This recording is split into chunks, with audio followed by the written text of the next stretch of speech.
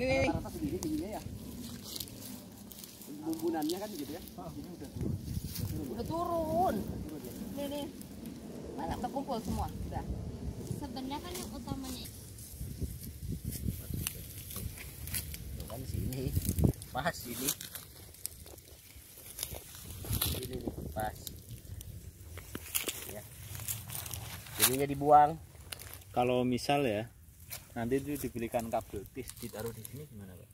Ya bisa aja. Daripada Tapi oh tadi itu apa? Yang gimana? Yang kabel tis itu. Kabel tis yang apa sih? Yang pakai gitu. Ditarik. Nggak takutnya ininya kagak gede nanti. Cekik.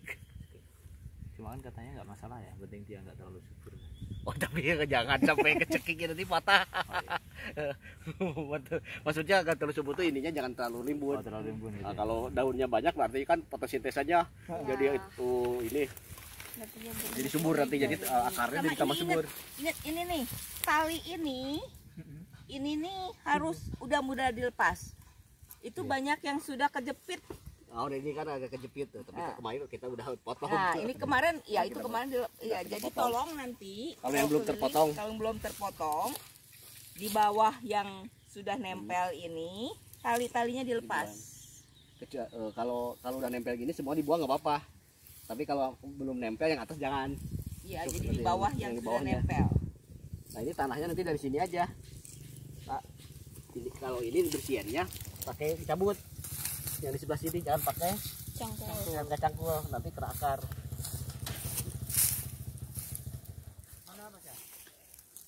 Fajar di Baru pulang ke Bluluk dulu.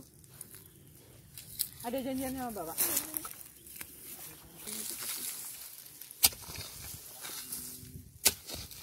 Tapi nanti jangan dengan ininya ya, dengan jangan dengan dengan rumputnya. Nanti rumputnya jadi di sini. Duduk itu kelapa yang masih kecil.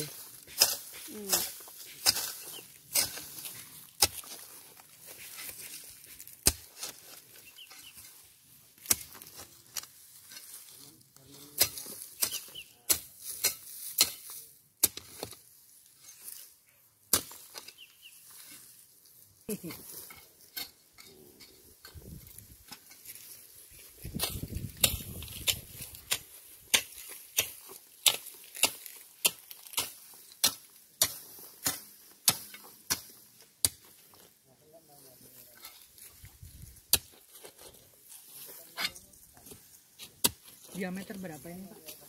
Ya kurang lebih segini aja lah. Berapa nih? Kemarin kan 20 bilangnya lah, jari-jarinya 20 lah. 30 ya. Itu yang bersih. 20 lah, Untuk yang itu. 20 sampai 25 sejengkal lah kurang lebih ya. Kemarin yang itu sejengkal juga kan? Yang bersihnya. Sama Tapi ini musim aja. hujan nanti ya. Jari-jarinya. Musim hujan. Biar ini ya nanti tumbuh dari sini akarnya. Ini sebelum lebaran kan sudah begini kan bu?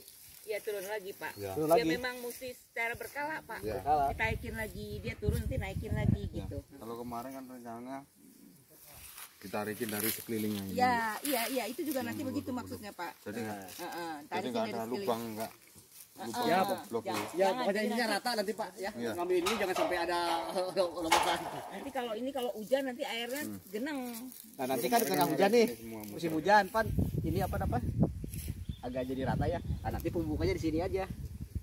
Pak, sebelah lingkaran sini.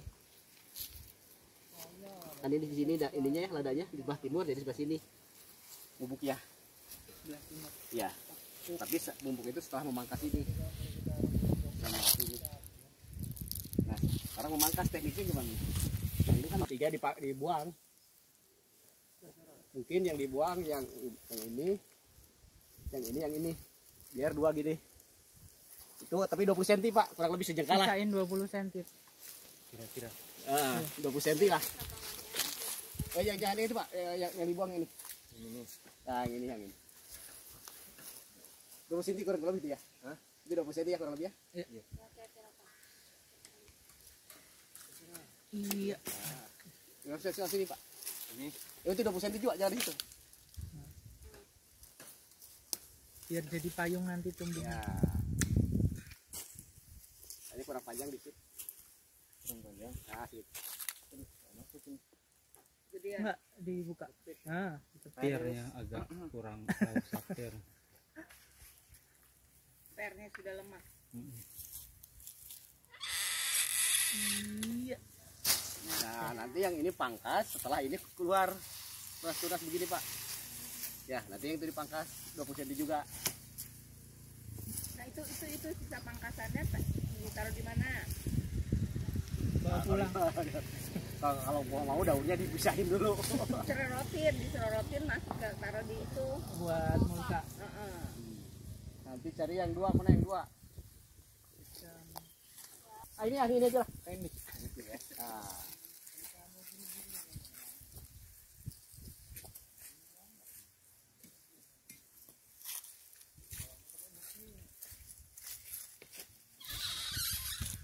Nah, nanti kalau udah tumbuh yang ini tumbuh lagi eh, apa tunas, yang ini potong. Kalau potong dua-duanya takutnya mati. Ininya. Mungkin sebulan kemudian udah bisa ya Pak. bisa. Yang penting tanahnya itu aja. Tanahnya apa? Yang itu udah bertunas. Nah setelah ini baru pemupukan setelah pangkas ini. Bulut, pangkas, bulut pangkas pupuk ada ini ini di sini U. sini aja nah sini nanti di kurang lebih 5 cm atau 10 cm tabur aja sini tutup lagi begitu gitu aja Oh, kalau nggak salah nanti pupuk kandang ya? Ada. Ada. Nah, kalau pupuk kandang itu caranya bukan setengah semua, Kalau pupuk kandang. pupuk kandang semua gitu. Keliling. Tutup. Oh, sekelilingnya berarti. Ya, tapi kalau pupuk kandang jangan dikeliling gitu. Bagusnya di ya, tabur, Tabur, Pak. Dapur terus tutup tanah. Ditutup tanah. Kan pemberiannya pupuk kandang dan pupuk itu mau bareng. Jadi mana dulu? Pupuk kandang dulu biasanya. Tabur dulu. Tutup baru pakai itu bikin. Soalnya kalau itu dulu nanti itunya ke ke bawah. Jadi tabur dulu pupuk Kandang baru bikin itu. tutup Tutup. tutup Tutup. tutup, Bikin itu tabur lagi. itu, Iya. tutup lagi. empat lapisan berarti. Kalau pupuk kandang, kalau pupuk organik, pupuk organik itu kan bukan hanya kalau eh, unsur harinya kan dikit, supaya dia untuk meningkatkan eh, penyerapan air, mikroba kan, makanya makanya mikrobanya supaya menyebar semua, bukan hanya setengah. Tapi kalau pupuk itu supaya efisien, jadi di sekitar perakarannya. Tapi kalau nanti udah besar, umur berapa ya tiga tahunan aja, tiga tahunan lah, udah produksi. udah produksi baru Keliling. sekeliling, karena ininya kan udah udah ini. Pemangkasannya sekarang aja lah tadi diterangin lagi. Nah, kalau pemangkasan kan 30 cm dari sini. Dari tadi yang sebatas 10. nah ini kan dari sini lah dari dari tutupan tanah aja nanti. 30 cm 30 cm berarti kurang lebih 2 kiri ya. Nah di sini. Ka, eh, ka- misalkan di sini ya 30 cm nya bisa di sini. Jangan di sini di sini potongnya ya. Nah misalnya di 30 cm di sini tambahin aja nah supaya ini eh, ke bawah. Ini tujuannya supaya nanti ini keluar nanti keluar. Eh, pasti kan kan keluar tunas nih. Bisa dari bawah bisa dari sini bisa dari atas. Oh, kalau agak tinggi itu biasanya keluar 4 atau 5 kadang-kadang ada yang dua juga. Nanti pelihara tiga. Cari aja yang eh, kalau ada yang di bawah yang di bawah jangan dipakai. Oh yang di bawah buang. di, eh, nggak dibuang ya. Nanti kan di sini. Ya di sini. Jadi nanti eh, jadi tiga pak. Kalau ada yang dua ya biar aja dua. Pokoknya kalau lebih dari tiga sisakan. ya tiga aja. Tapi cari yang terbaik. Misalkan ada yang kecil nanti ada yang besar. Cari yang terbaik.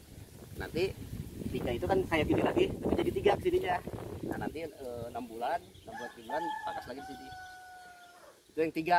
Dari tiga itu mudah-mudahan nanti keluar lagi tiga lagi masing-masing. Jadi tinggal ini kan sembilan. Pangkas lagi sembilan kali kali tiga lagi jadi 27 jadi kenapa supaya banyak keluar gini pak. Cabang. Cabang. buah. Ya nanti kan dari masing-masing ini kan banyak keluar cabang buah. Dari cabang buah itu keluar buah kan. Biasanya kan rata-rata keluar daun keluar seludang apa tuh eh, calon calon buah. Nah, itu diharapkan begitu. Nah kalau tidak dipangkas begini terus. Begini terus jadi satu pak. Jadi satu ya. Jadi, ya ada beberapa contoh kan oh, kalau tadi dipangkas cuma satu. Itu diharapkan itu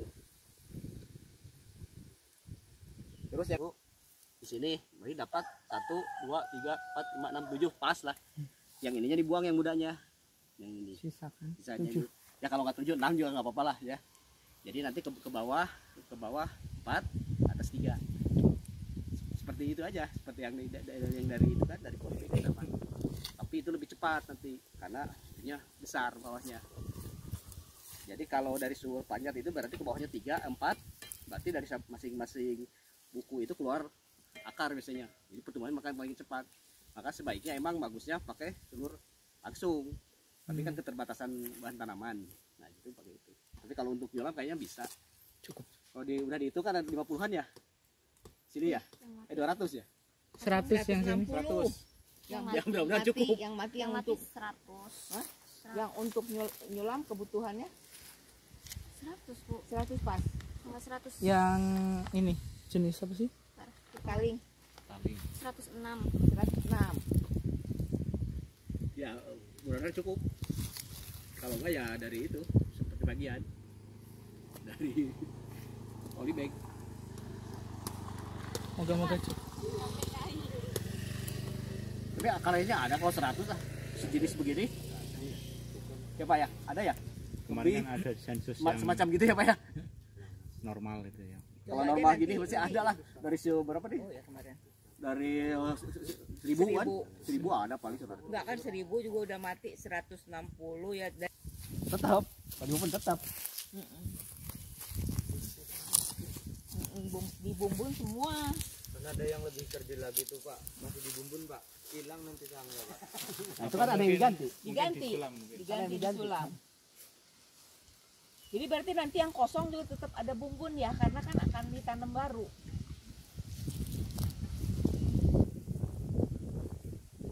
Sudah dibumbun dan tinggal mupuk kita sama-sama. Tapi yang membumbun nanti bumbun dibumbun kan mau karena ditanam nanti? kita mau nanam baru. Artinya semua dibumbun terus itu nanti eh, pas bumbun itu hujannya udah mulai stabil. Jangan sekali hujan sekali Langsung bumbun jangan seminggu. takutnya deh. kemarau lagi nanti. Nanti tunggu Hmm, tunggu tunggu tunggu ya, duaan yang ini yang yang nah inilah yang yang kita aja apa apa yang ini monitornya masuk ke plan health. Nah cara penhealth Tolong, tolong. kondisi tanaman kesehatan tanaman. Nanti kita memantaunya dua. Memantau pertumbuhan dan memantau kondisi tanaman kesehatan tanaman. Yang sudah dilakukan untuk memantau pertumbuhan Amin ya. Iya. yang sama Bu Indri. Ketawa yang biasanya diwakilkan oleh Bang Ridwan. Itu nih mana Bang Ridwan? Lagi mutik cabai oke oke. nah sekarang ya terkait dengan memantau kesehatan tanaman. Jadi ini berhubungan dengan ada tidaknya hama penyakit ya Eh, sebenarnya agak susah di sini untuk eh, jelaskan. Nanti Bu Indri saya beri beberapa gambar ya ya. Nanti Bu Indri kapan-kapan bisa diskusi lagi dengan teman-teman yang eh, tiap harinya di di lapangan gitu ya. Jadi eh, kalau kita untuk melihat ada tidaknya penyakit atau ada tidaknya hama biasanya kita melihat kondisi tanamannya terus nomor dua kita melihat ada tidaknya penyebabnya. Ya penyebabnya. Jadi kalau misalnya nih nanti di ya dipakai bisa di mana yang ini. Yang ini ya. Jadi nanti kan di sini misalkan eh, melihat secara umum tanamannya. Ya layu atau tidak. Begitu nanti misalkan layu.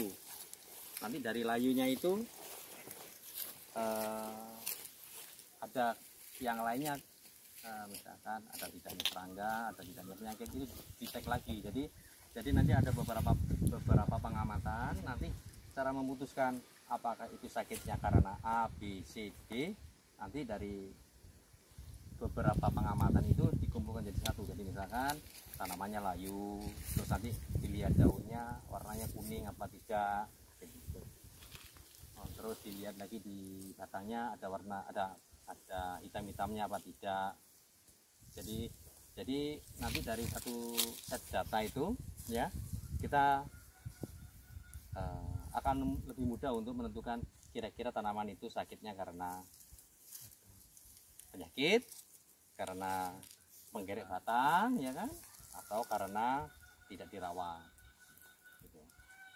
Ketahuan itu Pak kalau tidak dirawat. Ketahuan, paling gampang. nangis gitu kayak bayi kan Justru, justru kita itu sebenarnya paling gampang menentukan tanaman itu sakit atau tidak kalau dia itu sudah dirawat benar. Kalau sudah dirawat benar, terus ada yang aneh, berarti kita lebih mudah lagi untuk menentukan bahwa penyebabnya adalah.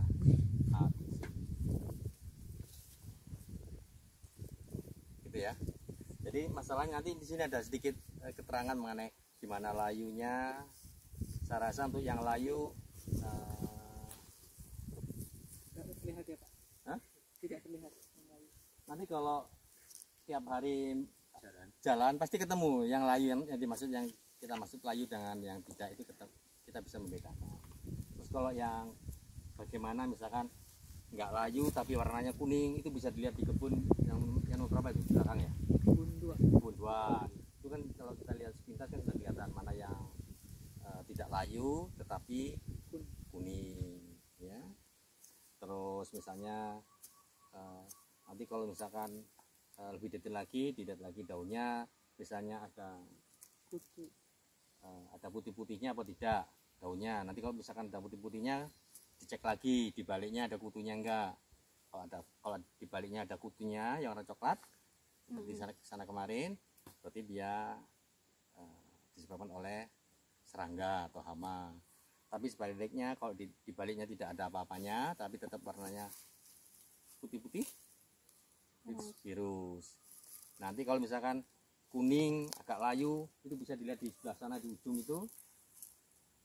Ini fotonya ada tapi nggak bisa. Ya jadi misalkan eh, di sini tanamannya agak bagus tapi yang di belakang agak jelek jadi misalkan di sini ada kuning kuning kuning kuning. Itu tidak walaupun sakit tapi tidak karena penyakit tapi karena misalnya kurang pupuk eh, kurang nutrisi. Jadi seperti itu. Ada komentar? Mau dicobain aja ya Pak mau membumbun ini diganti dulu. Tapi setelah hujan satu kali lah. Ada hujan satu kali ganti ganti lagi ganti tajarnya yang mati mati kan banyak ya. Tadi ganti kalau bisa sebesar yang ya sebesar itulah. Ya gitu ya. Minimal. minimal. Tapi jangan jangan maksimalnya 6, lah 5 ya. 3 sampai Lima. 5 cm.